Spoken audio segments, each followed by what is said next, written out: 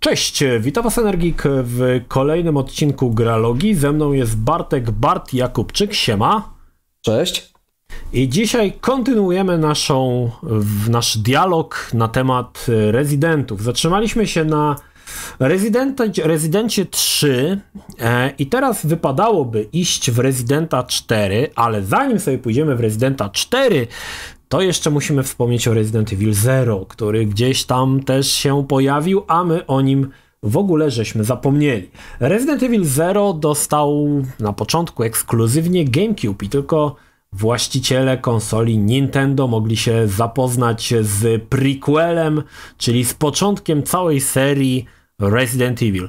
Natomiast sama gra była mocno nawiązywała do remake'u Resident Evil 1, czyli w zasadzie nowa oprawa znaczy nowa oprawa, no nie nowa, ale oprawa w wysokim, wysokiej, wysokiej jakości, trójwymiarowe postacie i nadal prerenderowane tła.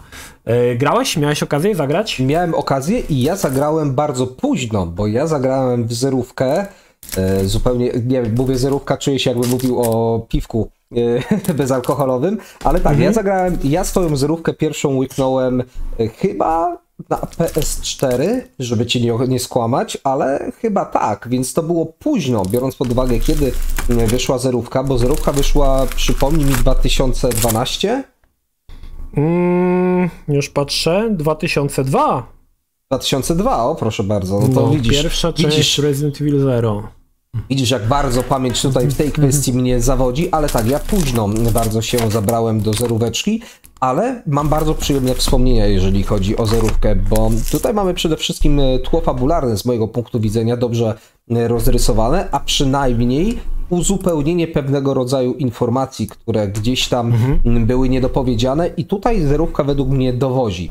E, szczególnie, że biorąc pod uwagę to, co się później działo z rezydentami, ja nie byłem fanem. I myślę, że tutaj od razu mogę szybko takiego spoilera odnośnie czwórki rzucić. Mi się czwórka nie podobała na początku. To nie była gra, która mnie ujęła i zerówka to było dla mnie to, czego ja chciałem. Ja strasznie zazdrościłem GameCube'owi, y, bo nie miałem tej konsoli akurat i to była jedna z takich gier, która była dla mnie system sellerem w tamtych czasach i przez między innymi Residenta i przez Metal Gear'a y, Twin Snakes to były dwie gry, dla których ja GameCube'a chciałem nabyć właśnie. Mhm. Znaczy, fajne było to w Resident Evil Zero, że mieliśmy na przykład y, pocio w pociągu na początku, nie? Było, że jechali tak. tym pociągiem. To było takie niespotykane, jeżeli chodzi o mhm. serię Resident. E, mieliśmy troszkę rozwinięcie, tak jak wspomniałeś, postaci Rebecca Chambers, która pojawiała się w części pierwszej. Wiedzieliśmy, że ona należała do tego teamu Alpha chyba, tak? Który, Team Alpha, tak jest. Tak. I tutaj mogliśmy już jakby zapoznać się z całym tym teamem Alpha i to było jakby, jakby na, fajnie to jakby połączyli ze sobą, nie? Że to jakby ze sobą faktycznie się tutaj e, zazębiało. Natomiast no, to był jakby tradycyjny rezydent, nie? Tradycyjny rezydent, taki e, niby pierwsza część, więc miało się jakby takie uczucie, że to jest trochę retro, to jest nowy rezydent, ale takie trochę, trochę jak Gwiezdne Wojny epizod, y, epizod pierwszy. Niby nowe, ale utrzymane w takim retrofuturystycznym tak. klimaciku, nie? Trochę nowe, e, trochę stare, dokładnie. Trochę nowe, trochę stare, tak jest. E, uważam, że to wyszło bardzo dobrze i ten Resident Evil Zero faktycznie e, gracze na innych platformach mogli GameCube'owcom wtedy zazdrościć, bo to wyszła naprawdę dobra rzecz. Absolutnie, także y, nie wiem, jak bardzo możemy się tutaj rozwodzić nad rezydentem, ale rzeczy, które ja bym chciał wspomnieć, no to po pierwsze, to co wspomniałem y, już przed chwilą, powrót do korzeni. Ja strasznie chciałem y, tego rodzaju roz, rozrywki. Swoją drogą, nawet to śmieszne celowanie, gdzie bierzemy pod uwagę pierwszą trylogię, mamy trzy poziomy celowania: w przód, w nogi, w głowę. No i oczywiście przeciwnik musi być odpowiednio blisko, żeby go trafić e, w nogi albo w głowę, no bo oczywiście niektóre kąty były prześmiewcze, tak, ale musi odpowiednio blisko ciebie podejść, no bo inaczej strzelisz, no powiedzmy metaforycznie w sufit, tak, te, te kule oczywiście nigdzie nie było widać, czy one lecą, czy one nie lecą, jakiś tam efekt e, ognia z broni był, no ale było to archaiczne, ale zarazem fajne. Nie jestem pewien, e, czy wtedy tak naprawdę cieszyło się we mnie to takie wewnętrzne dziecko, które tęskniło za tymi czasami, mm, czy, czy faktycznie już dojrzalszy gracz ja, ale mi się to podobało. Ustawienia kamer, znowu mamy to, to wszystko, co powiedziałeś, czyli to retro, ustawienia kamer gdzieś tam w rogu pokoju. Ja tego łaknąłem, mi tego brakowało i to chyba był największy kontrast dla mnie w przypadku ówczesnej czwórki, mm, czyli nie tego remake'u, który mamy teraz, że okej, okay, to nie jest zła gra, ale to jest w moim mniemaniu zły Resident. I nagle, wiesz, mam to porównanie, czwórka i zerówka. I dla mnie mhm. zerówka wtedy to było coś, czego ja bardzo chciałem, a czwórka to było dla mnie takie... Yy, no okej, okay, to, to już nie jest Resident, jakby to nie jest coś, mhm. czego ja chciałem. Czyli zerówka to była taki, taki powrót do korzeni, do tych klasycznych mhm. rezydentów. Dodam, że jeżeli macie ochotę zagrać i w remake części pierwszej, w remake zerówki, e, wyszło na PlayStation 4 Resident Evil Origins Collection, gdzie są obydwie gry na płycie e, w wersji, no bo też tutaj warto dodać, że czasów GameCube'a jeszcze był obraz 4 na 3 tak jest. Natomiast tutaj już mamy 16 na 9, e, troszkę tam te tła mm, zostały przerobione.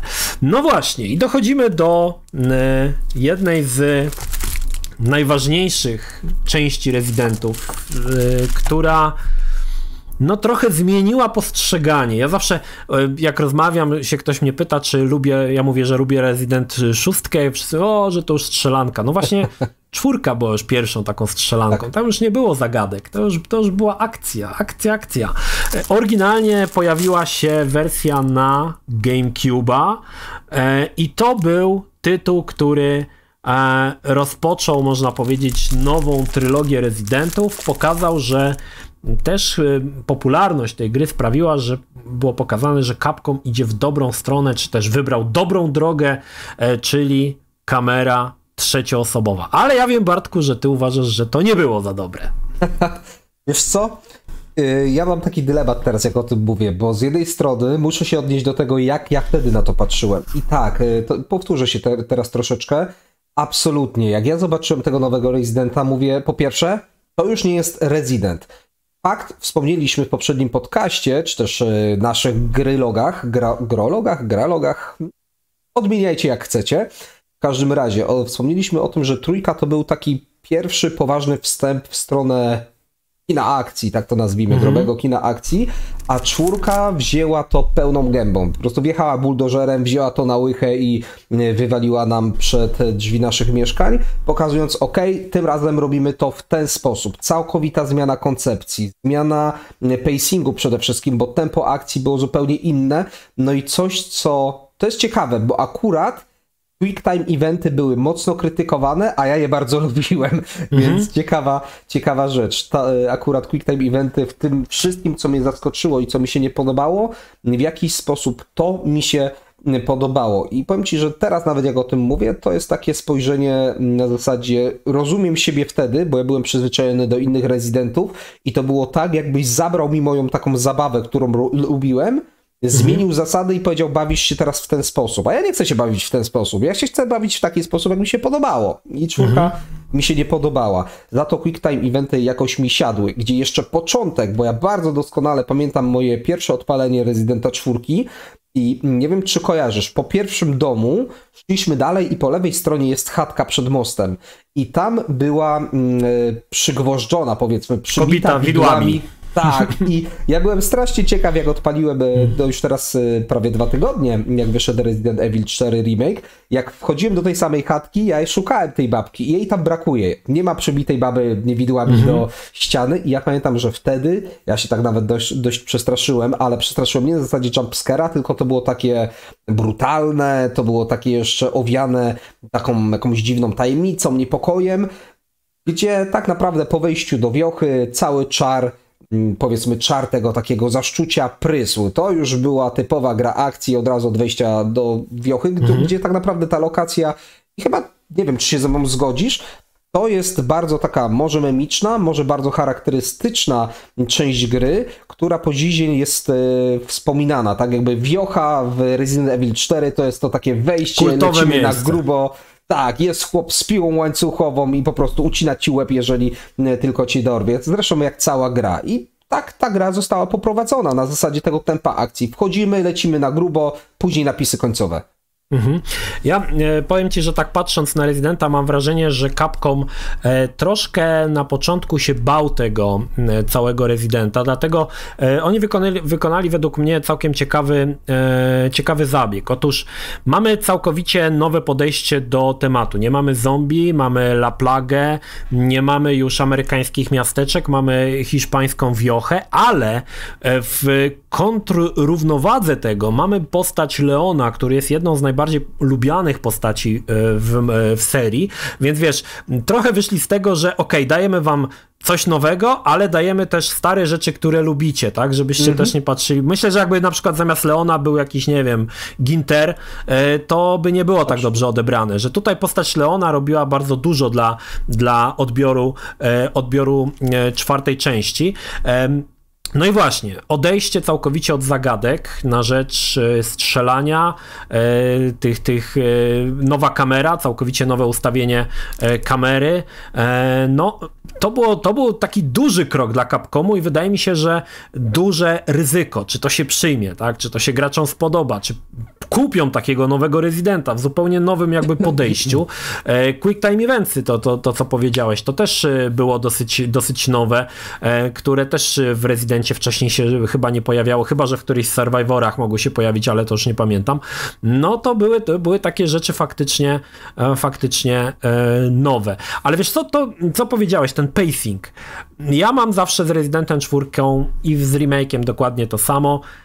Ten moment do wejścia do zamku jest świetny. Po wejściu Aha. do zamku siada mi to totalnie. I już potem wiesz, e, te laboratoria, potem ta wyspa z tymi żołnierzami. Dla mnie to już jest flaki z olejem. Jakby ten element i w tym starszym rezydencie, i w tym się. remake'u, ten pierwszy wiocha jest najlepszym, najlepszą częścią całego rezydenta. Tak, i nie sposób się nie zgodzić, bo ja znowu powiem, zabrałeś mi argument, bo chciałem powiedzieć to samo do wejścia do zamku jest fajnie. I tutaj nawet yy, tak myślę, że możemy delikatnie zacząć porównywać remake z oryginałem. Bardzo mi się podoba między innymi to, że mamy więcej zwiedzania, więcej czasu w wiosce, choćby to jest chyba czwarty rozdział, gdzie możemy pływać łódką i zwiedzać sobie dodatkowo. Yy, no jest, ja w czwartym rozdziale spędziłem 4 godziny, jakby, to, mhm. czwarty rozdział 4 godziny, jakby... Ale o remake'u mój, mówisz o remake'u. Tak, mówię mhm. o remake'u. Ja nie mam zielonego pojęcia co, jak, kiedy, kiedy mi te 4 mhm. godziny zleciały, ale tak było, więc jak zobaczyłem koniec chaptera i tam 3,56 chyba miałem na liczniku w czwartym rozdziale, byłem zdziwiony, jak fajnie mi minął w ogóle ten czas, bo to było bardzo przyjemne zwiedzanie, dodatkowe zagadki, dodatkowe elementy, które się pojawiły, więc to było super. Natomiast w oryginale wiadomo, że tych etapów nie było aż tak dużo, bo czwórka remake e, poszerza nam pole manewru i uważam, że robi to świetnie. Natomiast chciałbym wrócić na chwilę do postaci samego Leona. I tutaj myślę, że świetny kontrast mamy, jeżeli chodzi o czwórkę i czwórkę remake, bo może na tamte czasy to była fajna postać, jeżeli chodzi o Leona. Mm, tak jak go zbudowali w czwórce. Ja go wolałem trochę bardziej w dwójce, to prawda, ja widząc go w czwórce, mimo wszystko cieszyłem się, bo tak jak powiedziałeś, ikoniczna postać, bawimy się, mamy, mamy tego bohatera, którego przecież tak bardzo lubimy, mimo że w świecie, który mi nie pasował w tamtym czasie, to on był takim. Mm, I myślę, że chyba Japończycy to robili też w poprzednich częściach, bo to były takie sztampy, jeżeli chodzi o bohaterów, tak? W jedynce, w dwójce E, w trójce zresztą też, to były takie sztampy kina akcji, tak? E, bohaterowie, mhm. którzy są kwadratowi, którzy są e, no, może trochę bezmózdzy, może to jest trochę przerysowanie, ale gdzieś to pasuje. Ja po dziś dzień przecież pamiętam i tutaj specjalnie o tym wspominam w, przy okazji czwórki, gdzie w jedynce mieliśmy ten taki, no, kwestia tłumaczenia, które było robione na kolanie. Pierwsza część Residenta, pierwsza scena, gdzie Chris wręcza e, Jill mm, e, wytrych i mówisz, skoro jesteś mistrzynią włamywania, tak, no to ten wytrych mhm. ci się e, przyda. I mamy powrót do tego, gdzie w pewnym momencie to jest chyba na etapie zamku, nie, to już jest, już jest na etapie laboratoriów, gdzie Ashley przeskakuje przez dziurę, otwiera drzwi i mówi, że jest teraz Master of Unlocking, tak, czyli nawiązanie do tego hasła Master of Unlocking z jedynki z oryginału. Więc takie mamy się zdarzały. Ale wracając do postaci Leona, nie wiem czy ty tak miałeś. Ja tak miałem i po latach to jest dla mnie jeszcze bardziej widoczne. że w oryginale czwórce on jest typowo koki, leci masa one-linerów, jest to bardzo płytka postać, postać, strasznie te ego widać i nie pamiętam, czy on mi się wtedy jakoś szczególnie podobał, na pewno nie zapadł mi w pamięć, ale teraz jak mam porównanie z remake'iem, to zmiana w ogóle jego charakteru dla mnie wyszła świetnie. Wtedy strasznie taki przemądrzały, zbyt pewny siebie, ego wywalone ponad horyzont, mhm. a teraz dużo bardziej stonowany, poważniejszy, przede wszystkim wiarygodny dla mnie, bo to jest postać, którą mogę kupić, tak samo jak Ashley, która zdaje sobie sprawę z powagi sytuacji i podchodzi z dużo większą rozwagą do tego, co się mhm. dzieje. Znaczy wiesz, tutaj chyba y, w, w klasycznej czwórce to wynikało z tego, że poszli właśnie w tą stronę tego kina akcji, gdzie, gdzie bohaterowie raczej nie są za bardzo filozofami e, i właśnie głównie polega to na tym, żeby rzucali te one-linery i żeby było śmiesznie, nie? Tak jak, nie wiem, e, John McClane w Szklanej Pułapce. E, tak Natomiast jest. no tak, faktycznie zmiana tego, stonowanie tego, tej, utemperowanie takiej troszkę tej postaci wyszło według mnie faktycznie na, dobrze, na dobre. Nie wiem, czy ja tak odbierałem to, bo szczerze mówiąc Resident, jeżeli chodzi o Y, fabułę, czy tam może inaczej, nie o fabułę, ale o ekspozycję postaci raczej nigdy nie był za bardzo tutaj lotny w tej, w tej materii. Faktycznie Japończycy zazwyczaj używali takich klasycznych, y, sztampowych, y, amerykańskich wizerunków i na przykład Leon to był taki chłopczyk z Backstreet Boys, nie, z, Oj, tak. włosami. Na te, na, zresztą sam, sam, miałem jakieś taką fryzurę, to wiem, nie, miałem fryzurę Chciałem jakieś na Leona. Spytać. Chciałem spytać, bo była boda, była boda, że ludzie wrzucali tak. sobie właśnie te fryzurki. możecie sobie zdjęcia wyszukać, jak fryzurę Leona ludzie sobie Moje robili. nie szukajcie, mojego, mojego zdjęcia nie szukajcie, ale miałem taką fryzurę na Leona, wiesz, na, na, dwa, na, na, na pół, na palemkę tak zwaną, nie? No. E, I to było, to było faktycznie jakby takie, e, takie bardzo amerykańskie bardzo, bo to był taki blondasek właśnie taki, chyba w Backstreet Boys był taki gościu, który właśnie tak podobnie wyglądał. I oni chyba wzorowali się... Zrób przebitkę, jak będziesz Co? w montażu. Zrób przebitkę w montażu. Dobra, jak znajdę to, jak znajdę, znajdę to go wrzucę. Natomiast y, faktycznie e, Czwórka to była takie już, no wiemy, że to już było podejście do e, Capcomu całkowicie zerwanie z, tą, z tym survival horrorem na rzecz, na rzecz e, kina akcji. No właśnie, teraz ciekawostka, bo po GameCube pojawiły się też wersje na chociażby PlayStation 2. Ja mam dwie wersje, to jest w ogóle ciekawostka, tu powiem to jest europejska wersja chyba, która najbardziej jest znana w Steelbooku. Natomiast tu jest wersja amerykańska, e, tak zwana premium. W środku jest e, laser cell, czyli taki obrazek Leona. I to jest ciekawostka, że obrazek Leona mamy w wersji na PlayStation, ale obrazek Ady Wong, też laser cell, był w wersji GameStopowej na GameCube. E, I tutaj jest taka mała ciekawostka techniczna, do, do której ja wiele lat później doszedłem. Otóż w wersji na GameCube'a e, wszystkie cutscenki były liczone w czasie rzeczywistym. I w wersji na PlayStation Wszystkie kascenki są prerenderowane. Nie wiem, czy chodziło o to, że PlayStation było za słabe, żeby te kascenki w czasie rzeczywistym wyświetlać, natomiast później w kolejnych wersjach, które się pojawiały, na przykład na Wii, ponownie wrócono do tych kascenek liczonych w czasie rzeczywistym. E, to była taka dosyć taka techniczna, można powiedzieć, zawiłość. Natomiast ja jeszcze wrócę do wersji PC-owej, bo ja pierwszy raz w Residenta 4 grałem na PC-cie e, i pierwsza wersja PC-towa, bo tam tych wersji, ogólnie wersji rezydentów ja mam najwięcej ze wszystkich gier. Mam ich chyba z 7 albo 8 różnych. Tak aż tyle wyszło? No właśnie, bo na PC wyszły aż chyba 3, ponieważ na początku wydali wersję, która była jeden do jednego kopią tak. wersji z PlayStation 2 i ona wyglądała koszmarnie, no to wszyscy zaczęli tam dupę truć, że to w ogóle jest, więc wydali potem e, HD chyba remaster tak, i potem tak, był tak. jeszcze Ultimate HD remaster, który w każdym były tak. coraz lepsze te, coraz lepsze te tekstury, natomiast no faktycznie te wersje, wersje na PC ta miały, no, no nie wyglądały za dobrze faktycznie i nawet jeżeli porównałeś bezpośrednio, grając tą samą grę, bo to były dosłownie te same gry, PlayStation i PC no to na PlayStation, pomimo, że się grało na padzie, według mnie grało się o wiele, o wiele lepiej. No i od, ostatnia wersja klasycznej czwórki pojawiła się na PlayStation 4, e, wstecznie kompatybilna na PlayStation 5. To jest już ta wersja chyba najwyższa, nie wiem, już chyba nie ma lepszej jakości, jeżeli chodzi o klasyczną czwórkę, to jest ta najlepsza. Ale ogólnie... Final Remix. Tak, ogólnie chyba najlepsza wersja e, ponownie z komentarzy, to jest w ogóle wersja na Wii, gdzie steruje się ruchowo. Ja w nią nie grałem. Miałem ją, ale nie, nie mam. okazji też. Ja ją okazji, mam, tak miałem. Nie wiem, gdzie ona jest. Komuś pożyczyłem i ktoś mi nie oddał. E, okay. I, w nią koniec końców nie gram, ale podobno jest najlepsza. Nie wiem, czy to prawda, czy nie. Nie wiem, jeżeli ktoś z Was grał, dajcie znać. E, ja znam ze słyszenia, e, ale no nie miałem też okazji. Na Wii, na Wii grałem głównie w kręgle u znajomych, także to był pa party, mhm. party konsol dla mnie więc e, tutaj się nie wypowiem, ale co ciekawe, jeżeli chodzi też o wersje PC-owe, no to oczywiście scena moderska, która po dziś dzień tak, działa no. bardzo dobrze. I rzeczy, które oni zrobili dla Residenta na PC są niesamowite, bo przecież tak naprawdę, co nie będzie zaskoczeniem, to nie jest żadne nowum, no rocket science, jak to mówią. Sceny moderskie utrzymują gry często przy życiu i to naprawdę dobrze. I myślę, że mm, do tej pory, zresztą możemy sobie zobaczyć e, na YouTubie porównania bardzo mocno zmodowanych wersji Residenta 4, tych oryginalnych, bez względu na to, który remix sobie wybierzemy, czy ten oryginalny, czy mm. HD E, remaster, czy Ultimate Edition, Championship, coś tam i tak dalej, jak w Street Fighterze, no to możemy zobaczyć, że ta gra, nawet jak na dzisiejsze czasy, po modach wygląda naprawdę całkiem dobrze, całkiem zjadliwe. To da się strawić i to bez później rewolucji e, październikowej na sedesie. Mhm.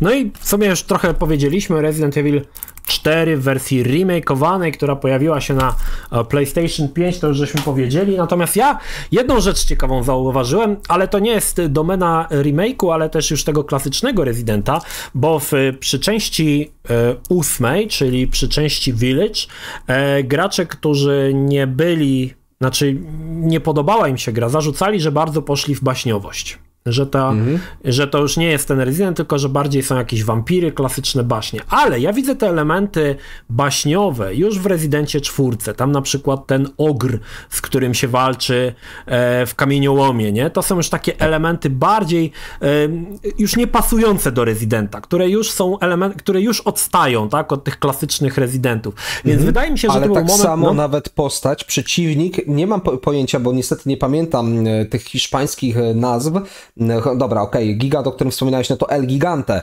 ale nie mhm. pamiętam nazw wszystkich przeciwników, natomiast jest, jest też ten przeciwnik e, w czarnej szacie, e, w czerwonej wszacie, który e, aktywuje przemianę u Ten mak taki, nie? Co tak Tak, ten mhm. mak. Więc mamy znowu postać właściwą. W czwórce zgadzam się w zupełności, one tam jak najbardziej są. I to jest jakby nie, że ona się zaczęła, bo w piątce tych baśniowych, baśniowych elementów faktycznie nie ma i w szóstce, natomiast, znaczy w szóstce może, może są, może są, ale piątka, y, czwórka jakby zaczęła te, te elementy. Natomiast Podsumowując, część czwartą. E, czy uważasz, że Resident Evil 4 jest aktualnie remake, jest aktualnie najlepszym Residentem? Czy uważasz, że jednak jest to godny remake, ale były lepsze części? Godny remake, ale dwójka remake wygrywa. Wygrywa. Ja kota tylko tak. wypuszczę. Poczekaj. Jasne.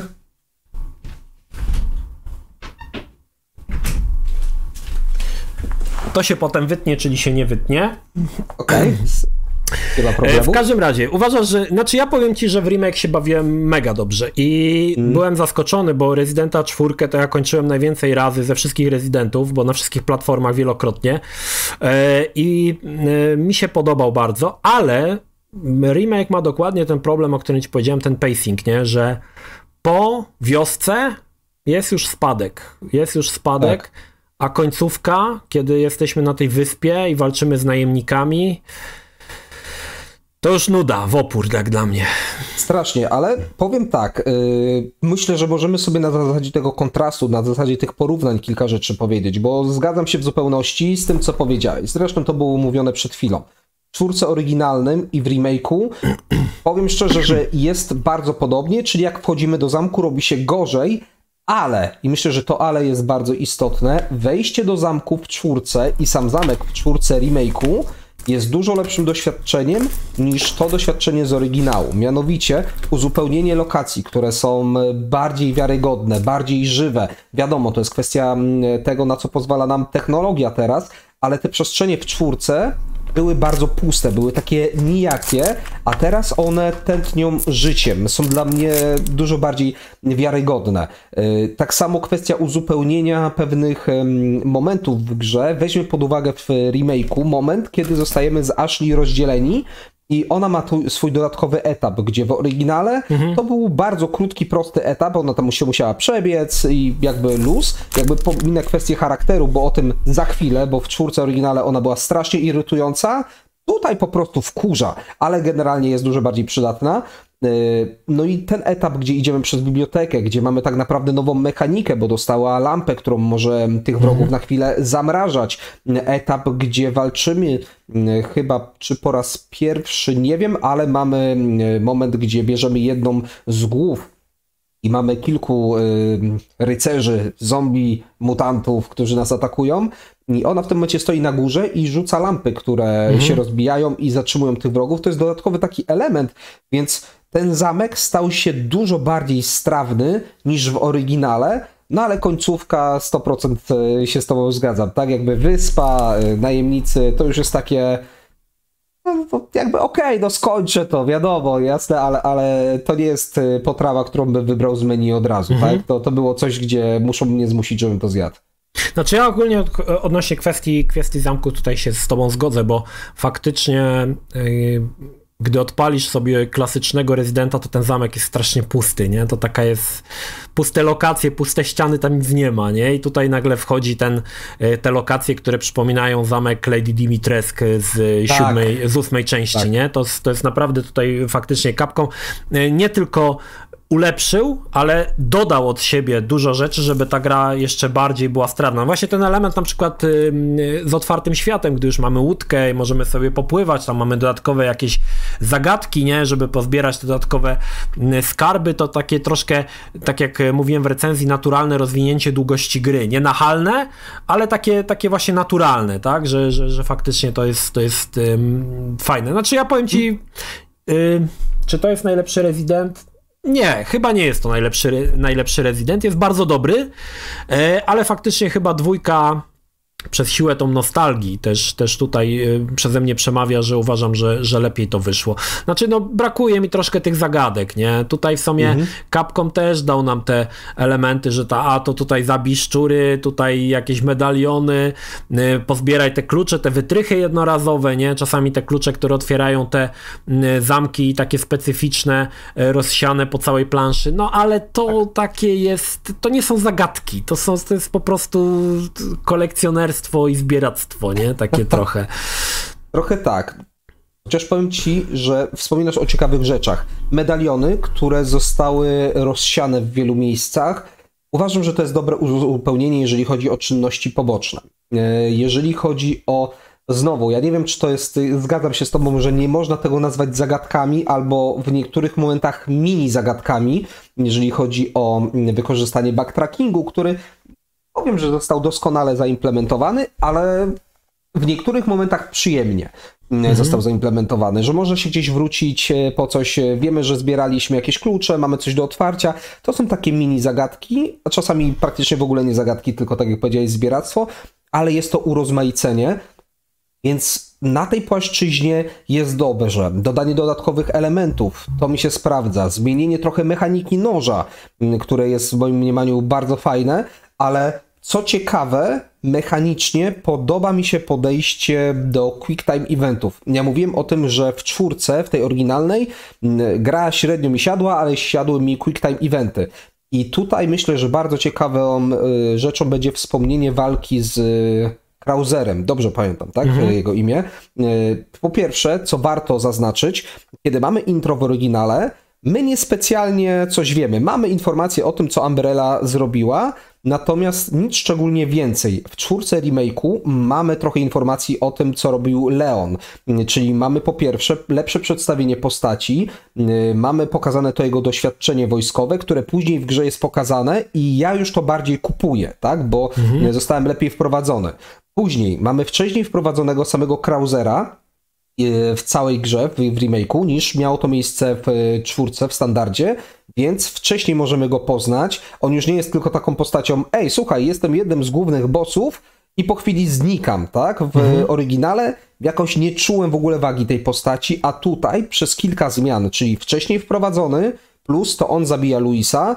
E, zakładam, że jakby e, chyba się nie martwimy w tym momencie o spoilery e, albo porównanie, bo w oryginale Luis ginie wcześniej, przez co też ta postać jest nam mniej pokazana i nie mamy z niej więzi, chociaż może więź za chwilkę sobie omówimy, ale pojedynek z Krauserem, który w oryginale to był totalnie quick time event, wciskanie batonów, kiedy prompty nam wyskoczyły, a tutaj mimo że podobnie, to ta walka jest bardziej satysfakcjonująca i właśnie quick time eventy w remake'u strasznie mi pasują, bo często polegają na ciekawym wyrobieniu sobie czasu reakcji.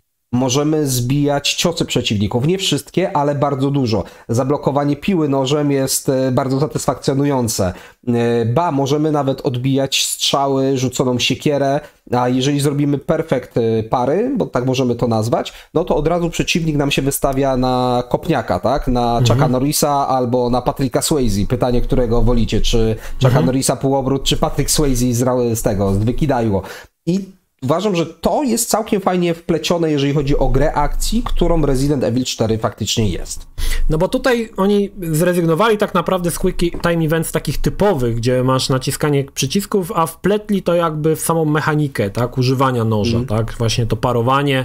E, faktycznie ta walka Krauserem w klasycznej wersji to jest e, parada cutscenek i, i quick time eventsów, w sumie całkiem nieźle wyreżyserowana przy okazji, a tutaj mamy już bardziej, bardziej to jakby wplecione, e, wplecione w samą mechanikę. Natomiast e, zadałeś mi pytanie, ile mi zajęło e, skończenie Residenta, więc hmm? tak zakończmy tym, bo nie wiem o co chodziło, bo nie powiedziałeś mi o co. Więc ja powiem jeszcze raz, że zakończenie Residenta 4 zajęło mi 16,5 godziny. I powiem ci, że to jest czas, który jest w tak zwanych granicach normy. Mhm. Ja, ja skończyłem po 38 godzinach prawie. Okej, okay. tam musiałeś ściany lizać ostro. Tak, ale wiesz co jest najlepsze i, i teraz pewnie nie uwierzysz, ja się śpieszyłem. Mm -hmm. ja nie mam pojęcia, jak ja to zrobiłem, ale ja, ja, jestem takim graczem, który ściany lizać lubi. Ja widzę gdzieś jakąś zagadkę, ja pójdę ją rozwiązać i mimo, że ja chciałem tą grę skończyć szybko, żebyśmy mieli oczywiście mm, właśnie materiał tutaj na podcast, to ja w pewnym momencie się zacząłem zastanawiać. Myślę sobie, ok, 16 rozdziałów, 12-18 godzin. Taki przedział sobie dałem, co nie? Mhm. E, w pewnym momencie ja patrzę, ja jestem powyżej 30 godzin, ja jestem gdzieś tam już na tej wyspie. Zastanawiam się, co ja jeszcze w tej grze robię. I z jednej strony ja tego nie widzę jako minus, e, absolutnie nie, bo ta, to nie było tak, że ja czułem jakiś taki przymus do chodzenia za tymi zagadkami, tylko to była jakaś taka naturalna ciekawość. A właśnie to było takie to pytanie odnośnie ile w to grałeś. E, chciałem, żeby to było właśnie takie wyjście na zasadzie zaciekawienia grom, na ile ciebie ten świat wciągnął, bo tak jak mówię, u mnie no w okolicach 40 godzin pierwsze przejście, gdzie wiemy oczywiście, że jeżeli chcemy wybijać sobie skory, S+, i tak dalej, no to chcemy zrobić tą grę w poniżej tam chyba 4,5 godziny, jeżeli dobrze pamiętam, no i można spokojnie tą grę bardzo szybko zrobić. Natomiast ja nie czułem potrzeby, ja się świetnie bawiłem, mimo że gdzieś z tyłu czułem takie pośpiesz się, pośpiesz się, musimy mieć e, grę skończoną na nagranie, to naturalnie ja się mimo wszystko dobrze bawiłem i w naturalny sposób e, gdzieś tam podróżowałem po tym świecie, spędzając prawie 40 godzin. Więc A nie zauważyłeś? Nie zauważyłeś w ogóle, że w Rezydencie czwórce zagadki, które są ubogie, znaczy jest ich mniej faktycznie niż tam porównamy do dwójki, ale nie uważasz, że niektóre są trudniejsze, znaczy czy w ogóle są trudne? Pamiętam taką zagadkę, jest taka maszyna, gdzie się wkładało takie medaliony i potem się przesuwało w co trzy.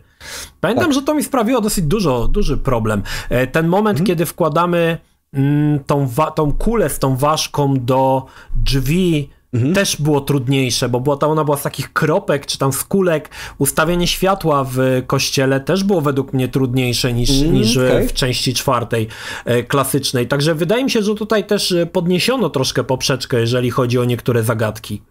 Ciężko mi powiedzieć. I z ważką tu się zgadzam, bo faktycznie chwilkę się pobawiłem, chwilę poobracałem, ale to była taka przyjemna zagadka absolutnie nietrudna. Y, chwilę trzeba było pokręcić, luz. Y, jeżeli chodzi o te plejty, o których wspominałeś, że się przesuwało co trzy, y, to jest zaraz przy pomoście tak, przed tak, jeziorem. Tak, tak. Mhm. To u mnie to były dwa ruchy, więc a, okej, okay, no dobra. nie, nie mogę powiedzieć, że to było cokolwiek trudnego.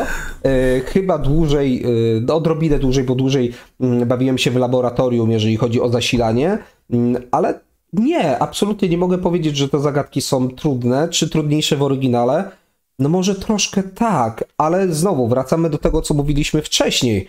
Resident Evil 4 zagadek po pierwsze ma jak na lekarstwo, a po drugie nie są niskich lotów. I ja też nie oczekuję od tego rodzaju gier takich solidnych łamigłówek, które sprawią, że się będę pocił i mhm. nie będę mógł spać po nocach, bo to nie jest tego rodzaju gra w moim mniemaniu. Nie mhm. wiem, może, może ty uważasz inaczej. Jak dla mnie to powinny być zagadki, które na chwilę mają cię zająć, mają skierować tak. twój umysł w zupełnie inną stronę, ma się tempo akcji całkowicie zmienić, po czym wracamy z powrotem do tego, co było, ale chciałbym, żeby były ciekawe.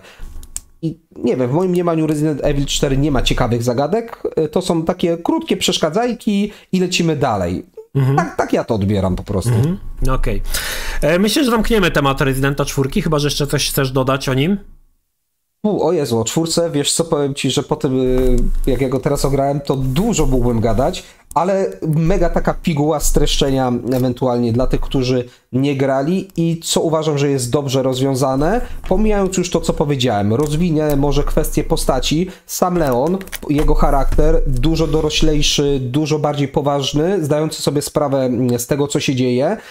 I przede wszystkim postać, którą można kupić w tym momencie, ona jest dużo bardziej realna w odbiorze.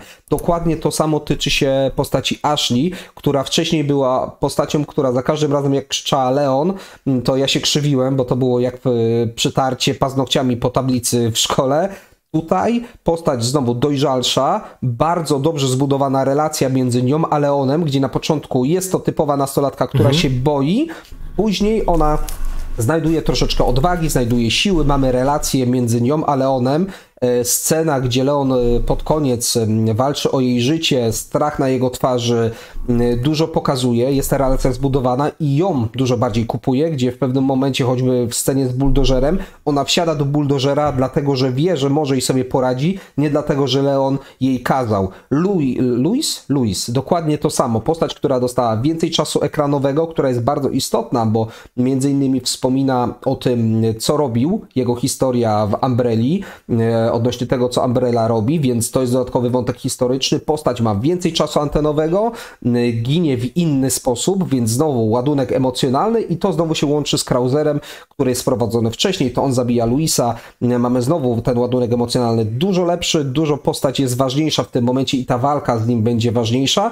bo nawet taki ciekawy mały szczegół, gdzie na początku nie pamiętam, czy to było na samym początku, ale w pierwszych etapach, gdzie poznajemy Luisa, on pyta Leona o ognia, gdzie Leon go zmywa, a pod koniec w scenie śmierci mm, Luisa Leon sam mu odpala ostatniego papierosa. Mhm. Więc takie małe smaczki, które sprawiły, że to wszystko jest no, bardziej do kupienia przeze mnie. Te postacie są bardziej realne i to są chyba najważniejsze zmiany, które sprawiają, że poza oczywiście całą mechaniką, o której już mówiliśmy, że na chwilę obecną tak jak kiedyś mówiłem, że Resident Evil 4, ten oryginalny, nie jest dla mnie, tak czwórka remake, yy, kilka razy jeszcze do niego podejdę na 100%. Bawiłem się bardzo dobrze i to jest dużo lepsza gra niż oryginał w moim mniemaniu. Mhm. No ja się pod tym, pod, pod tym podpiszę.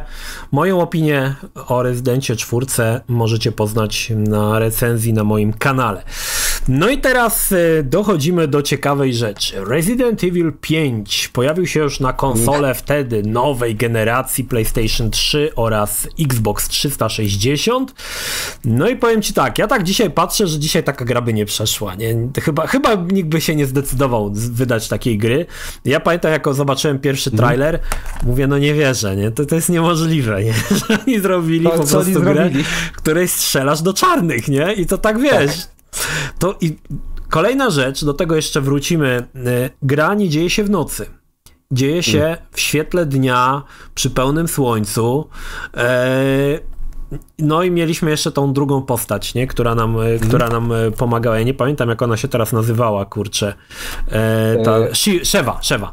E, A, tak. I to było, to było, z jednej strony to była ewolucja Play, Resident Evil 4, ale kurde, no wiesz, strzelasz głównie do czarnych, nie?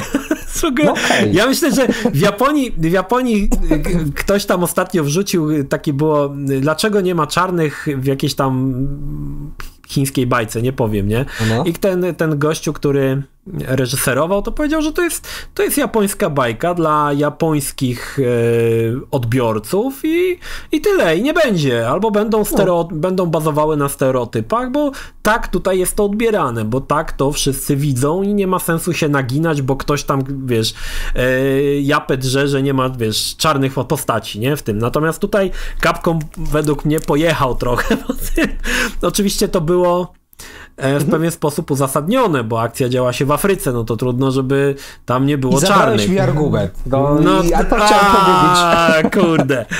Nie, bo no to, dobra, to, to ja już... Ja już...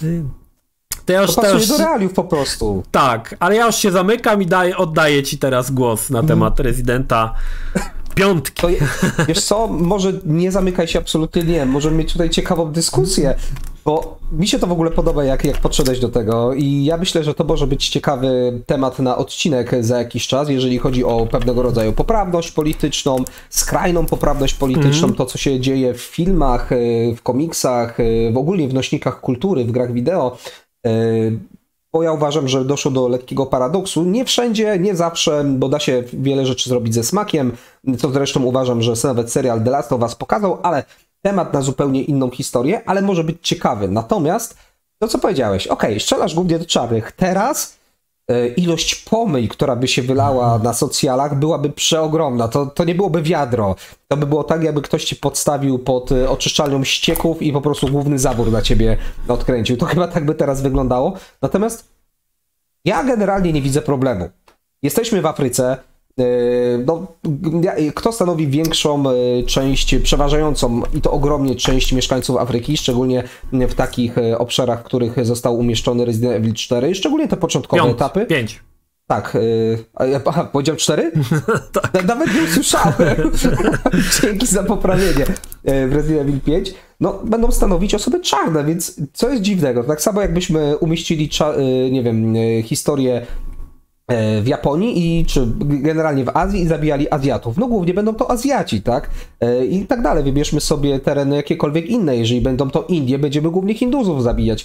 Więc jakby to całe takie, wiesz, e, ora bora i, i huradura niespecjalnie kupuję, ale okej, okay, jeżeli ktoś chce się przyczepiać, śmiało. Natomiast bardzo mi się podoba to, co zaznaczyłeś i to była ogromna zmiana, czyli bawimy się bardzo mocno w dzień to już w ogóle nie była dla mnie gra, która miała jakiekolwiek elementy, o, boję się, się czy cokolwiek. Mhm. To było dla mnie nawiązanie do współczesnych filmów o zombie, gdzie mamy runnerów, gdzie mamy postacie szybkie, dynamiczne, które ci atakują i po prostu potrzebujesz jakąś kosiarkę, żeby ciąć, albo najlepiej piłę łańcuchową, żeby rżnąć wszystko dookoła. To było dla mnie, to jest mega skrót myślowy tej gry.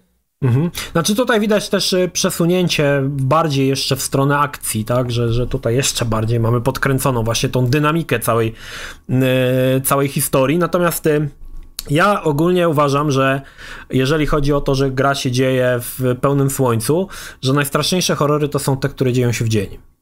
Dlatego jest ich niewiele. Po pierwsze, dlatego, że jest okay. ich niewiele e, i wrzucę tutaj kilka takich tytułów, jak na przykład Midsummer albo e, Coś za mną chodzi. To są bardzo fajne horrory, które dzieją się w dzień i one są właśnie dlatego straszne, że się dzieją w dzień. E, bo jakby się działy w nocy, e, to wiesz, to jest trochę tak, że dzień jest zawsze taką oazą bezpieczeństwa. Wydaje ci się, że nic tak. cię nie zaatakuje, że jesteś bezpieczny. A jeżeli w dzień się zaczynają dziać złe rzeczy, to faktycznie zaczyna być to przerażające. Ja jakby Resident 5 y, jakby y, to ciężko powiedzieć, że on straszy, bo on nie straszy, ale to, że dział się w dzień, akurat mi to nie przeszkadzało, to było fajne, y, według mnie fajne, natomiast to, co mnie zaskoczyło, gdy pierwszy raz odpalałem Residenta 5, odpalasz, odpala się ta pustynia i ten targ, do którym idziesz po to uzbrojenie, wcielasz się e, w Chrisa Redfielda, i Chris wygląda jakby przez ostatnie y, lata ćpał sterydy dla koni, nie? W ogóle tak. napakowany po sufit, nie? W ogóle całkowicie Dokładnie. zmiana, zmiana postaci, którą znaliśmy wcześniej, chociażby z Resident Evil 0, z Resident Evil 1. Tutaj po prostu taki, wiesz, haban wielki, to było dla mnie dosyć dziwne wtedy, pamiętam, że od, na PlayStation mówię, no co tu się stało, nie? Co tu tak, się w ogóle zdarzyło? Powiem ci, że ja się dziwię, że nie mieliśmy takiej mini gry, żeby ślady po igłach od sterydów nie zaznaczać i konstelacji sobie nie rysować. Że pakujesz mu te sterydy samemu. Natomiast no, Resident Evil 5 no to już taki typowy blockbuster akcji, gdzie e, wzięliśmy to, co było fajne w czwórce, ale było podkręcone jeszcze bardziej, nie? Do, do tego. Natomiast chyba najfajniejszym elementem było to, że można było grać w kooperacji. To było według mm. mnie istotną zmianą, gdzie mogliśmy faktycznie w dwie osoby grać i było to coś, coś nowego, tak, na tamte czasy. Ja się zastanawiałem, powiem Ci, jeżeli chodzi o tą kooperację, co Capcom miał na myśli. E, wspominaliśmy o tych e, takich spin-offach, które się pojawiły. Wspominaliśmy, no ja uważam, że najlepszy kooperacyjny Outbreak, i ja się zastanawiam, czy oni nie chcieli troszkę jakby tego połączyć, może spróbować takiego powrotu do tego, co się działo w Outbreaku, z drugiej strony połączyć to z Residentem 4, czyli akcją i po prostu siejemy razem spustoszenie, bo w wielu momentach dla mnie ta gra tak wyglądała, że siejemy faktycznie spustoszenie wśród y, umarlaków, tak ich ogólnie możemy nazwać, bez względu na to, jaki wirus tym razem ich oczywiście gdzieś tam zatruwał. I gdybym miał powiedzieć, po prostu zapominam, że to jest Resident Evil, to jest gra po prostu, gdzie siadam z kumplem czy kumpelą y, przy piwku i po prostu siejemy spustoszenie razem, to byłby, myślę, że ciekawy tytuł jako taka odskocznia. Tu bym to kupił. Mm, natomiast, y, ale znowu, ja chyba w tamtych czasach jeszcze wciąż może czułem zniesmaczenie po rezydencie czwartym. Y, swoją drogą to jest y, chyba, tak jak sobie myślę nad takim koślawym tłumaczeniem, rezydent zło. To jest chyba niezbyt dobry przydomek dla twojego nowego sąsiada. Ale tak czy inaczej, ja chyba cały czas byłem zniesmaczony czwartym rezydentem. I po prostu widząc to, gdzie idzie Capcom w tamtym czasie, mi się po prostu nie chciało w, gra w to grać. Mhm. Okej, okay, wziąłem, uruchomiłem. No i chyba tyle, co mogę specjalnie powiedzieć. Dużo mi się nie podobało, mało mi się podobało. A, okej. Okay. E, to zaraz do tego wrócę. Natomiast hmm. warto dodać, że w Rezydencie 5 po oddechu, którym była Resident Evil 4, no powracają znane i lubione postacie, bo mamy Chrisa hmm. Redfielda, mamy Jill Valentine, powraca Albert Wesker, kolejny raz, jeden z najbardziej znanych złoli z y, serii Resident Evil. Natomiast, nie widzisz, zapomniałem, co miałem powiedzieć. Y, natomiast tutaj wydaje mi się, że też Capcom podszedł podobnie jak przy Rezydencie 4, czyli dajemy wam coś nowego, ale też rzeczy, które były znane i lubiane, klasyczne, żebyście też nie poczuli zbytniego oderwania od całego jakby całej serii, tak, rezydentów. Natomiast no, y, temat y, tutaj kooperacji raczej polegał, tak jak mówisz, głównie na wspólnym strzelaniu. Zagadki polegały na tym, że ja wezmę wajchę, złapię lewą, ty złap prawą tak. i w tym samym momencie musimy ją przesunąć, tak, także to nie było raczej e, skala, czy tam e, poziom Outbreaka, tak? Było to raczej takie dosyć, dosyć e, proste. Natomiast no, e, ja powiem Ci, że w piątkę bawiłem się dobrze i tutaj taka mała ciekawostka, ze wszystkich rezydentów, jakie powstały na wszystkie platformy, Resident Evil 5 sprzedał się w największej ilości kopii. E, czyli była, jest to, to jest najbardziej popularny rezydent na świecie. E, piątka. Może dlatego, że się strzela do czarnych. Kto wie? E, pytanie, jak na to patrzeć, e, co opinia publiczna na to? Ulubiona, powiem ci, że myślałem...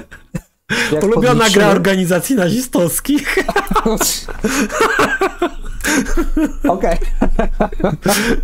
E, tak, można tak do tego podejść. Myślę, że niektóre osoby żyjące jeszcze cudownymi latami 40.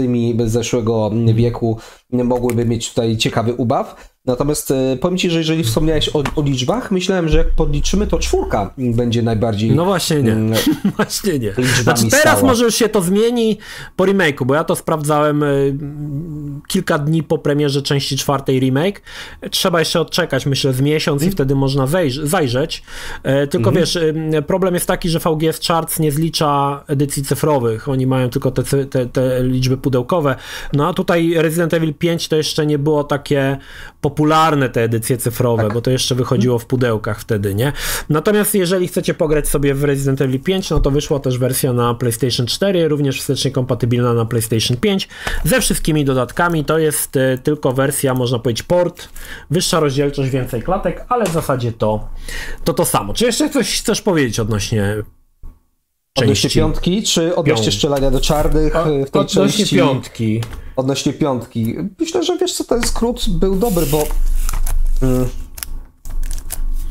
szybko wertuje, co wspominałeś. Ym, no tak naprawdę poza to uważam, że jest dobre. Yy, czyli ta kotwica emocjonalna, którą Capcom y, nam gdzieś tam zarzucił w postaci, w postaci postaci, masło maślane, ale mm, doskonale się rozumiemy, to było dobre. Y, fabularnie znowu wracamy do tego, że to nie są gry, które fabularnie nie wiadomo jak stoją. Powiedzmy, że trochę więcej dowiedzieliśmy się o Umbrelli, ale też wydaje mi się, że to jest takie porównanie troszkę jak e, do filmów z serii Resident, gdzie na początku jeszcze to się łyknęło, a im dalej w las, tym więcej, no niestety w tym przypadku śmieci, które ktoś e, zaczął wyrzucać na dziko. Myślę, że to w tą stronę. Natomiast kooperacja, tak jak bym powiedział, do piwka ok, Poza tym niespecjalnie. I myślę, że twoje porównanie w ogóle było świetne, jeżeli chodzi o zagadki, tak? Czyli ja łapię za wajchę, ty łapiesz za wajchę, ciągniemy razem. To jest w ogóle super metafora. Jakkolwiek to można rozumieć. No i dobra, po części piątej przyszła cza przyszedł czas na część szóstą. Resident Evil 6, który pojawił się na konsolach PlayStation 3 i Xbox 360 na początku i oczywiście jeszcze na PC. No i tutaj już zdania były mocno podzielone. Ja jestem jedną z, z, pięciu osób w Polsce, które bardzo lubią Resident Evil 6, aczkolwiek tutaj mamy już przesunięcie do ekstremum w stronę blockbusterowego kina akcji. I Resident już tutaj jest totalnie, totalnie odjechany. Ilość rzeczy, które się w tym Rezydencie tutaj zdarzają, to można by kilka dobrych filmów, do, dobrych kilku Johnów Wicków ob, obdarować. niesamowite tempo akcji, niesamowite w ogóle sytuacje, z których wychodzimy żywcem. Wszystko jest po prostu odjechane pod sufit. Myślę, że można by powiedzieć, że Rezydenta szóstkę reżyserował Michael Bay. To, to jakby tak, to by pasowało jest, w tym momencie. tak, to jest, to jest gra Michaela Baya. No dobra, powiedz mi co, co ty uważasz? Bo ja jestem. Znaczy, ja podejrzewam, że będziesz miał te argumenty, które większość ma przeciwników części szóstej, ale też jestem ciekawy, co tutaj wrzucisz. A więc tak. Ja tak naprawdę mogę powtórzyć to, co powiedziałem w przypadku Rezydenta piątki. To przede wszystkim nie jest gra dla mnie. Yy, chyba nigdy nie była. I powiem Ci szczerze, że teraz nawet jak troszeczkę o tym mówię, ja sobie z ciekawości za niedługo odpalę. Być może w najbliższy weekend odpalę sobie Residenta 6 i ja nie mówię, czy będę się dobrze bawił. Myślę, że nie, ale... Będziesz, będziesz! Będziesz się super dobrze bawił. No chyba, że zagramy razem, dobra, no to wtedy... No dobra, okay. możemy, nie ma problemu. Okay. Możemy spróbować, kto wie, może to będzie zupełnie nowe doświadczenie, ale okej, okay. spróbuję, żeby skonfrontować byłego mnie e, z obecnym mną, jeżeli chodzi o gracza. Natomiast Powiedziałem, że to jest gra, którą, która wygląda jakby wyreżyserował Michael Bay. Ja bym powiedział nawet troszkę inaczej, jeszcze raz, trochę mm, parafrazując samego siebie. To jest gra, która ma więcej wspólnego z Devil May Cry niż z Residentami. Jeżeli mhm. chodzi o te przerysowane akcje, jeżeli chodzi o tą groteskowość, o, o tą mhm. taką sztampę hollywoodzką, ja to tak odbieram. Tylko, że ja nie liczyłem na Devil May Cry, bo od tego mam Devil May Cry, od tego mam Bayonettę. Ja liczyłem na zombiaki. W moim mniemaniu, jak ja usłyszałem, że wychodzi szóstka, moja głowa mówiła świetnie, wyciągnęli wnioski z piątki, która jest B i zrobią coś choćby bliżej czwórki. Już nawet nie liczyłem na to, że w stronę pierwszej trylogii, ale liczyłem, że choćby pójdą w stronę czwórki, a oni to jeszcze bardziej przerysowali. Jeżeli chodzi o, z całym szacunkiem, bo ja lubię, lubię w odpowiednich momentach i humor z rynsztoka, i lubię kino akcji, które jest bezmózgie i macie tylko i wyłącznie cieszyć, to tutaj Resident się sprawdził. Poza tym, to nie jest gra, która ma tempo akcji dla mnie, to nie jest gra, która ma mm, techniczne aspekty rozgrywki dla mnie, jeżeli chodzi o serię Residentów. Tam nic szczególnego nie było. Ja pamiętam, bo na samym początku jeszcze wyszło demo szóstki i myśmy to razem z moim przyjacielem ogrywali no i pod koniec stwierdziliśmy, no jakby chcemy, nie chcemy to kupić, bo to czasy oczywiście współdzielenia kont, gdzie jeszcze wtedy na PlayStation 3 można było chyba na początku w 6 osób nawet, czy chyba mhm. 6 można było dzielić konta i myśmy sobie tak kupowali na spółę te gry i nawet biorąc pod uwagę, że można było wydać na to grosze, generalnie nie łyknęliśmy tego na początek, bo demo nas odstraszyło dopiero później. Więc mhm. w dużym skrócie tyle, ale chciałbym się dla kontrastu dowiedzieć, co tobie tak bardzo się właśnie spodobało? Czy to jest właśnie to przerysowanie, które u mnie jest zabawne, mhm. ale nie pasujące do serii? Być może kooperacja, która, i tu muszę przyznać, że mimo wszystko kooperacja była dobrze zaimplementowana, która sprawiała, że totalnie idziemy na bok z serią Resident Evil, jesteśmy w grze akcji. Tutaj kooperacja mi się była taka przyjemna. Więc co ciebie urzekło? Wiesz co, mi się podobało przede wszystkim tak, mieliśmy trzy scenariusze, które wzajemnie się zazębiały i jakby spotykaliśmy, cztery w zasadzie, bo jeszcze potem był e, scenariusz Ady Wong, który się odblokowywał. Mieliśmy dużo znanych postaci lubianych, bo powrócił Leon, powrócił Chris, powróciła Rebecca Chambers, która od czasu chyba Resident Evil Zero to niej tam za bardzo nie było. E, powrócił Leon. Po, nowe postacie były ogólnie kiepskie, muszę przyznać, no może poza synem Weskera, który był w porządku. Okay. Natomiast no. mi się podobało to, że to była gra tak napakowana akcją. To był, to był Resident w uniwersum Call of Duty. E, I ja pamiętam, jak grałem pierwszy raz, przechodzę po kolei te scenariusze i się łapałem na tym, mówię, kurde, jeszcze na motorze nie jeździli, ciekawe czy będzie. Pyk, jedziesz na motorze, nie? W ogóle wszystko się wali, strzela, nie? Jedziesz na motorze. Potem mówię, ciekawe czy helikopter będzie. Pyk, jest helikopter. Tam było wszystko. Motorówki, helikoptery, wszystko, wszystko, co sobie wymyśliłeś, to w tym rezydencie było.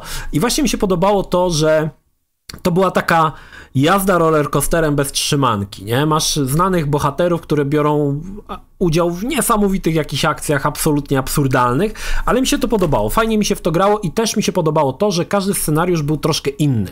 Scenariusz Leona był bardziej taki w stylu klasycznych rezydentów, czyli były zombie, e, to tam pamiętasz, on e, zabijał chyba prezydenta, tak? Czy tam coś takiego, czy nie wiem, czy to było pokazane, jak tego mhm. prezydenta zabija, ale działo się właśnie na jakimś fabularnie takim... było, fabularnie tak, było. I działo się właśnie na jakimś tam e, takim spotkaniu chyba prezydenckim, gdzie wszyscy się zamienili w zombie. To było właśnie taki bardziej klasyczny strona, e, strona rezydenta. Potem mieliśmy e, scenariusz Chrisa, który dział się w jakimś azjatyckim mieście, chyba w Chinach albo w Japonii, nie wiem. I się po ulicach biegało w ogóle, po, po dachach się skakało, to też było fajne. No i mieliśmy ten ostatni Rebeki Chambers, który dział się właśnie w takich zapadłych wiochach, nie? Czyli to było trochę nawiązanie do Rezydenta czwórki i do Village.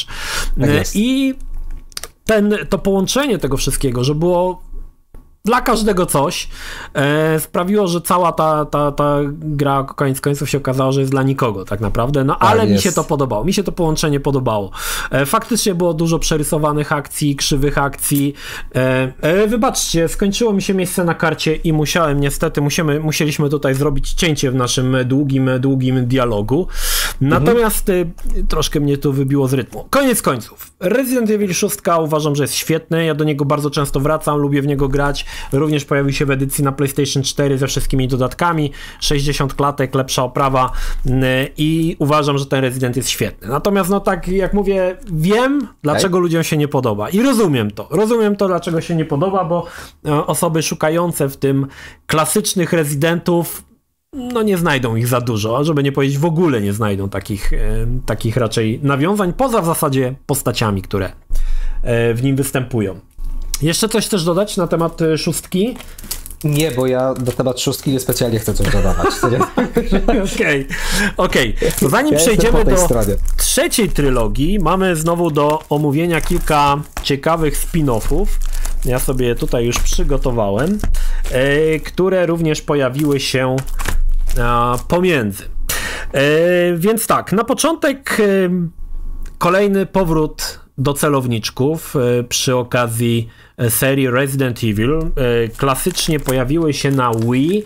To były dwie części: Dark Side Chronicles i Umbrella Chronicles. W odróżnieniu od Gun Survivorów i e, tych nieszczęsnych Dead Aima, e, seria Chronicles, jeżeli mogę tak mówić, była czymś, co w mojej opinii wyszło fajnie, ponieważ odtwarzała klasyczne rezydenty 1, 2, 3 plus jeszcze e, chyba Weronika X, ale nie pamiętam, ale w formie celowniczka, więc były to znane sytuacje, znane lokacje, znani po, znane postacie, znani przeciwnicy, ale z perspektywy celowniczka, co w mojej opinii wyszło naprawdę świetnie. O, a jeszcze Resident Evil Zero jest tutaj.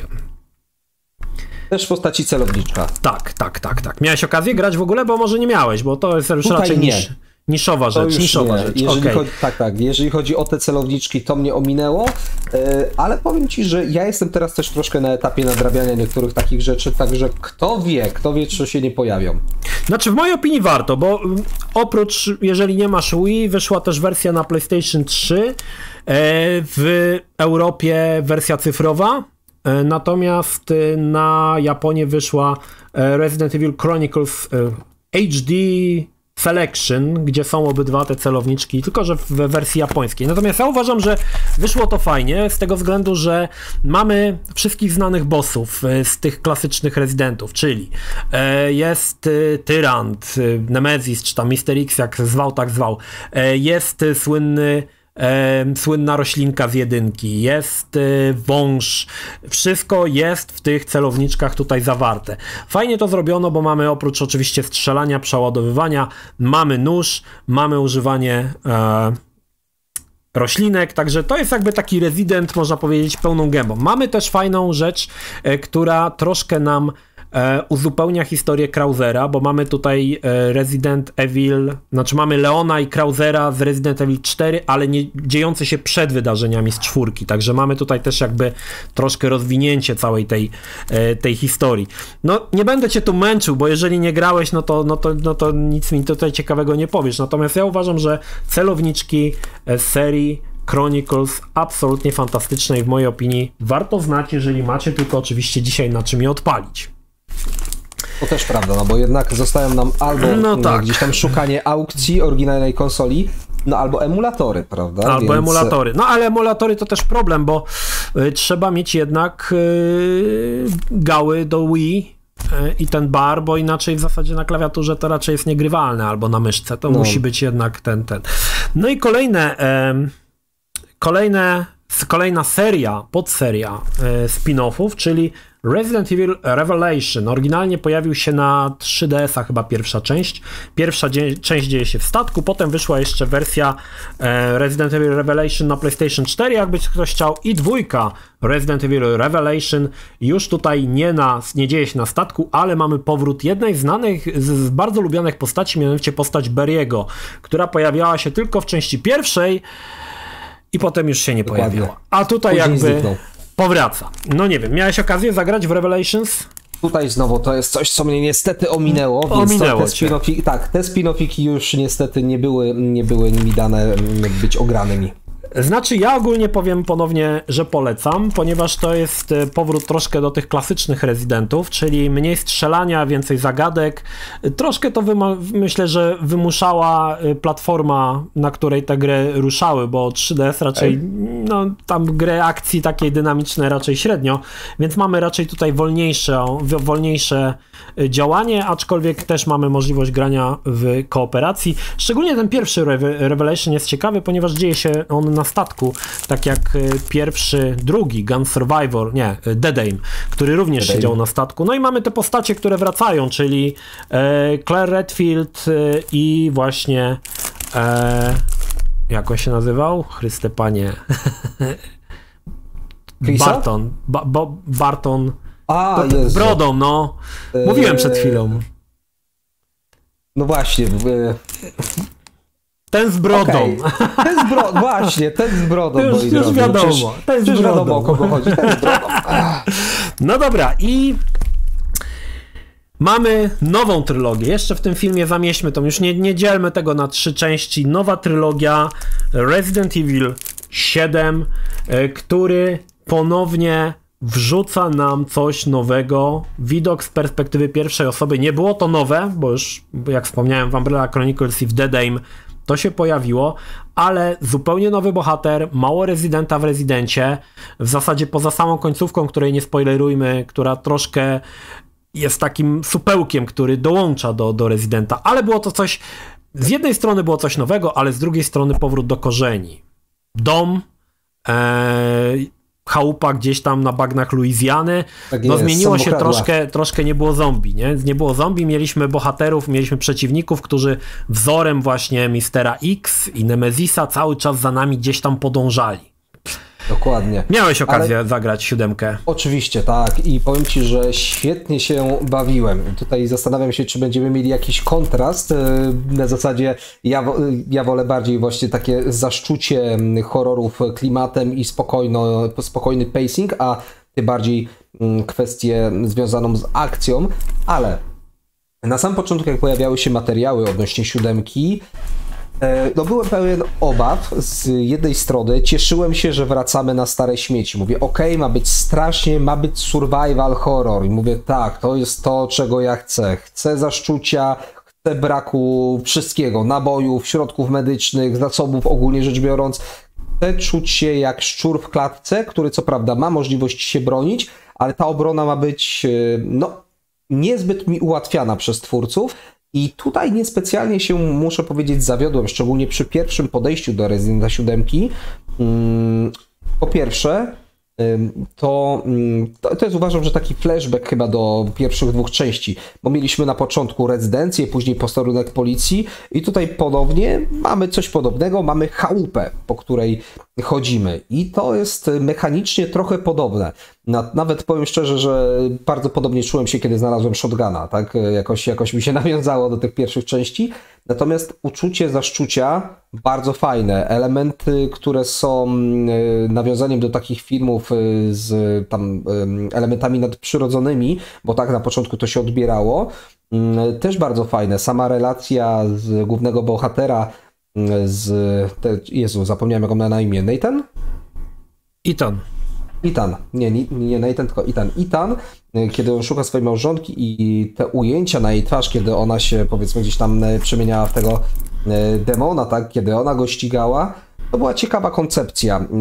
Faktycznie były tam takie momenty, gdzie można było się przestraszyć i myślę, że świetną robotę zrobili. Po pierwsze, jeżeli chodzi o kwestię audiowizualną, bo zarówno dźwięki otoczenia, jak i jakieś tam ambienty, które grały w tle, sprawiały, że czułem ten taki ciekawy niepokój, a druga rzecz to wykorzystanie właśnie tych elementów troszkę nadprzyrodzonych, trochę takich e, związanych z opętaniem. No, siadło mi. Mimo, że to nie był Resident, to przepraszam cię bardzo, ale po szóstce ten kontrast sprawił, że, że tak, że ja, ja to kupiłem. I to, I to razem od razu później z DLC, jak wyszły. Ja mam wrażenie, że troszkę Capcom chciał e, po tej szóstce takiej bombastycznej jakby troszkę zwolnić, zwolnić tempo. Yy, wiadomo, że już siódemka, jeżeli miała być w stylu szóstki, to ja już nie wiem, co to już chyba w kosmosie by się musiała dziać, jak Dino Crisis trójka. Yy, natomiast faktycznie to zwolnione tempo bardzo pozytywnie wpłynęło i tutaj mamy takie bardzo, bardzo takie wyraźne nawiązanie chociażby do pierwszej teksańskiej masakry piłą mechaniczną e, Toba Hoppera e, i ja muszę przyznać, że tak, e, mi siadło też, niesamowicie mi siadło, no ale Tutaj też jest bardzo ważna rzecz, ponieważ siódemka pokazała nam nowy silnik, Re-Engine, który pokazał naprawdę niesamowitą kapką, pokazał niesamowitą klasę, bo silnik w zasadzie jest używany do dzisiaj, nie tylko w serii Resident Evil, jest on bardzo elastyczny, bo i mamy tutaj i gry z pierwszej osoby, i z trzeciej osoby, i VR, i ten silnik wszystko obsługuje i to wszystko działa mhm. dobrze, nie? Natomiast... Tak, ja ci dodam tutaj taki mały szczególik, bo od e, niedawna zagrywam się też na PC w Monster Hunter Rise i mhm. ostatnio miałem taką sytuację, że włączam, no i pojawia mi się Edge i tak myślę sobie, czekaj, co ja włączyłem? I zapomniałem po prostu, że nawet Monster Huntera na tym robią teraz. Znaczy Capcom widać, że zainwestował w ten silnik i bardzo w niego jakby teraz y, z niego y, go eksploatuje na różnych, mm -hmm. na mhm. różnych właśnie tych, to, to według mnie bardzo pozytywnie e, to wszystko ogólnie działa, jeżeli chodzi o gry. Natomiast jeżeli chodzi o siódemkę, bardzo mi się podobał ten klimat mm, takiego zaszczucia, aczkolwiek tak jak mówię, Rezydenta w tym nie za wiele było. E, nowy bohater Itan też był postacią dość që wydaje mi się kontrowersyjną, bo z jednej strony nie był on w żaden sposób zawieszony gdzieś w serii wcześniej, z drugiej strony jest to postać, której nigdy tak naprawdę żeśmy nie widzieli jej twarzy i jest to postać, podejrzewam, że Capcomowi chodziło o to, żeby to był taki, żebyśmy my byli tym Itanem, tak? Coś tak. takiego. To troszkę jak w Half-Life'ie e, zrobiono, dlatego, dlatego nie pojawia się tutaj jego, jego aparycja. Natomiast e, sam klimat już jakby odszedł trochę według mnie od klasycznych rezydentów. Myślę tutaj o pierwszej trylogii, bo nie było już y, przeciwników, których y, możemy pokonać y, jednorazowo, tak? Mieliśmy raczej tego ojca, który gdzieś tam tak. cały czas potem pojawiali się inni członkowie rodziny, ale to jakby byli przeciwnicy, których znamy od początku i oni jakby sobie łazili po tej rezydencji nas tutaj atakując, nie? Też dość kontrowersyjnym elementem w mojej opinii było to, że, znaczy to było fajne, nie? Że on traci na przykład palce, ręce, wszystko, natomiast to wszystko, wiesz, magiczny płyn i już mówię, wszystko się zrasta. W siódemce to w ogóle było, rękę mu odcięli razem z tak. tym, z rękawem, polał tak. płynem i nawet rękaw się tutaj, wiesz, zrósł. Wszystko, magia, magia. Mój, mój magia. Drogi, y, y, słyszałeś na pewno powiedzenie, czy też określenie dispension of disbelief, czyli porzucenie niewiary, co nie? No. Tutaj, jeżeli chodzi o tą rękę, troszkę miałem z tym problem, ale jedno muszę przyznać, oprócz tego wszystkiego, co tutaj nadmieniamy odnośnie klimatu, że zrobili też jedną ciekawą rzecz i nie wiem, czy świadomie, czy nieświadomie, ale niektóre ujęcia, niektóre sceny, które się tam rozgrywają, to jest dla mnie powrót do lat 80. Przykład, scena z łopatą i policjantem.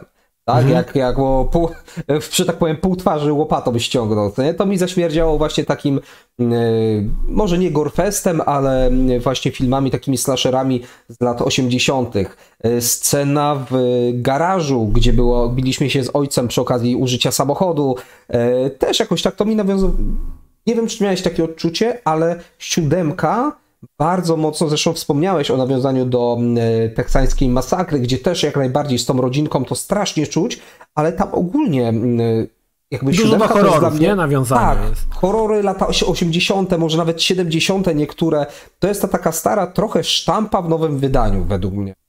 No tam jeszcze był fajny ten moment, kiedy e, na początku byliśmy tą kasetę wkładaliśmy i byliśmy tym filmowcem, mm. nie? Co, mm-hmm. to było też mhm. nawiązanie trochę do Blair Witch Project, gdzie wszystko było właśnie z tej kamery pokazane, nie? Takie fajne właśnie mieli takie, e, takie nawiązania. Natomiast e, też mi się podobało to, że pomimo, że ten Resident był całkowicie jakby oderwany od y, całej serii, na samym końcu, na samym końcu jako wisienka na torcie pojawiło się to nawiązanie do klasycznych rezydentów i postać, tak która jest. znana z całej serii, nie? To też było e, według mnie fajne, ale uważam, że siódemka wyszła dobrze, że to był dobry mhm. krok e, Capcomu e, w, jakby wejście w nowe, w coś nowego, tak? Wygenerowanie czegoś, co, co przyciągnie nowych graczy.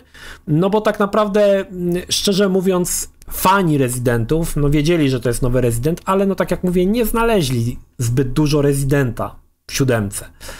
To było raczej skierowane troszkę jakby może tą markę, nie wiem, odświeżyć, odnowić.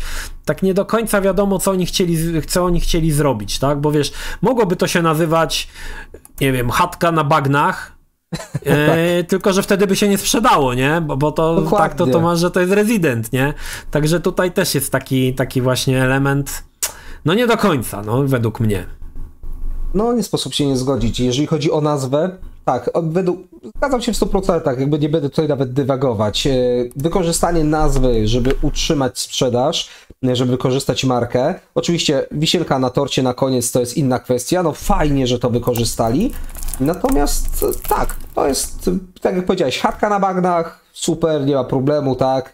E, Louisiana Expedition, nie wiem pojęcia, cokolwiek, to by się sprawdziło, ale mimo wszystko mm, wrócenie do korzeni, jeżeli chodzi o prowadzenie horroru, jest. Nie dokładnie takie samo, ale jest i to mi się spodobało. Także ja absolutnie propsuję siódemkę i bardzo polecam. A jak macie VR-a, o, przy okazji pieluchę dorzućcie, bo jest, jest naprawdę świetnie na VR-ze, szczególnie no właśnie. jak się gra. Warto dodać, że też gra dostała wsparcie dla pierwszego PlayStation VR e, i paradoksalnie na VR-ze gra była prostsza, bo tak. Celowało się celownikiem głową, co bardziej łatwiej się celowało po prostu i strzelało na przykład do swojej żony, kiedy nas ganiała z piłą mechaniczną. E, natomiast tak, na VR gra uzyskała zupełnie nowy wymiar, aczkolwiek było widać spore cięcia jeśli chodzi o oprawę. To już, to już ten, niby ten sam re-engine, ale to już nie wyglądało tak dobrze jak na ekranie telewizora. No niestety. No ale cóż, e, tak czy inaczej doświadczenie myślę, że bardzo dobre. E, no i chyba tym e, takim przyjemnym powiedzmy zakończeniem na temat siódemki będziemy przechodzić do ósemki, do wioski. Tak jest. Village Resident Evil Wiocha. Resident Evil 8, który e, ciągnął historię Itana Wintersa, w zasadzie domykał historię Itana Wintersa. Dużo większe jakby nawiązanie do klasycznych rezydentów, bo mamy często pojawiającego się chociażby Chrisa Redfielda, no ale odejście klimatem, już nie zombie, ale klimaty baśniowe, europejskie, trochę taka e, Rumunia, co jakieś Karpaty, zamek w Karpatach, coś takiego, czyli już takie jakby pójście w stronę, w stronę bardziej baśni, baśni czy takiego klasycznego horroru można powiedzieć, e, właśnie w stylu Drakuli na przykład Brama Stokera. Trochę tak. Ja mam wrażenie, że mm, Capcom robi coś podobnego, to jeżeli teraz nie mylę studia Santa Monica z God of War, czyli zrobiliśmy jedną mitologię, lecimy w drugą. Mhm. Może, może taki mieli pomysł. Pytanie chyba najważniejsze, czy to się udaje?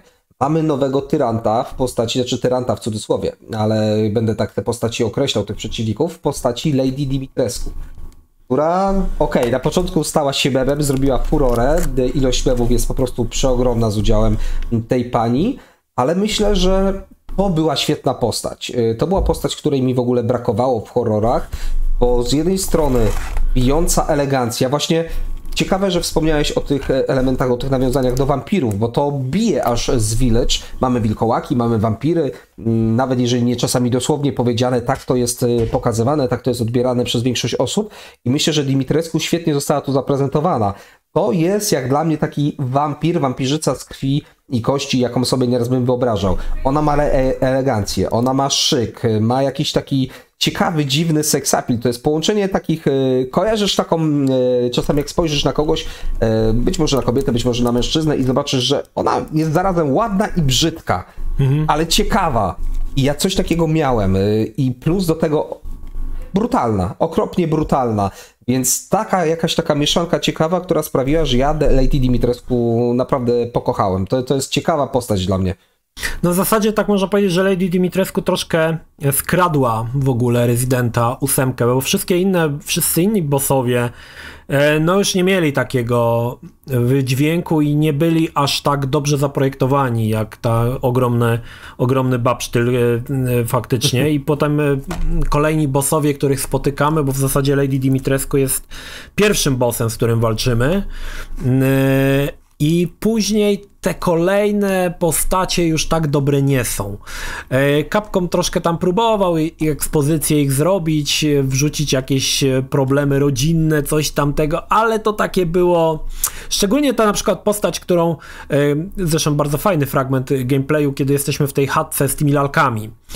To jest postać, o której w zasadzie w grze w ogóle nie za wiele wiemy, bo ona się pojawia może w jednej kascence, a potem, potem ją po prostu zabijamy i to tyle, nie? I tam można jeszcze doczytać trochę trochę z, z rozpisków, ale nie za wiele o niej można, e, można się dowiedzieć. E, bardziej już ta, ta postać na bagnach, która zmienia się w takiego wielkiego, nie wiem co to jest, jakiś taki, to na bagnach się na, walczy. Nazwijmy no ten, go bydlakiem śmierdzielem. Tak, no i ostatni typ Magneto, który tam tak. walczy, e, ten, to też, też nie były jakoś postacie specjalnie, specjalnie dobrze zarysowane. Faktycznie tutaj Lady Dimitrescu e, skradła całą, całą, całą grę, jak dla mnie. Natomiast co sądzisz o przejściu, czy też przesunięciu właśnie e, całej rozgrywki, czy też fabuły w stronę tych baśni, bo gracze ogólnie się podzielili, nie? że to już nie jest Resident. Znaczy, wiesz, ciężko powiedzieć, że zombie to nie jest baśń, no ale jest bardziej jakby osadzona w naszej rzeczywistości niż jakieś wampiry tak. i wilkołaki, które od razu przyjmujemy, że są postaciami jakieś tam z jakiejś mitologii, czy też mitologicznymi. No ale jak ty to widziałeś? Czy to był dobry według ciebie, e, dobre pójście w tą stronę, czy raczej raczej, by, raczej uważasz, że nie, nie, niedobrze Capcom zrobił?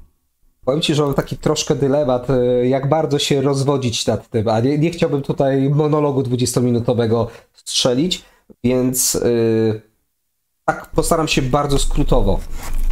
Yy, zombie są takim samym wytworem yy, powiedzmy fantazji, czy też fantazy, jak każde inne. Po prostu powstały teraz, są nam bliższe i ja też całkowicie rozumiem to takie zderzenie z rzeczywistością, może ten taki dziwny kontrast, gdzie od dziecka jesteśmy uczeni baśni, gdzie są te postaci, one, tak jak powiedziałeś, są baśniowe, a te nowe, no nie traktujemy jako baśni. Niektórzy ba traktują zombie jako coś prawdopodobnego. Mamy też oczywiście zwariowanych creepersów na tym świecie. No, różni ludzie, różne spojrzenia.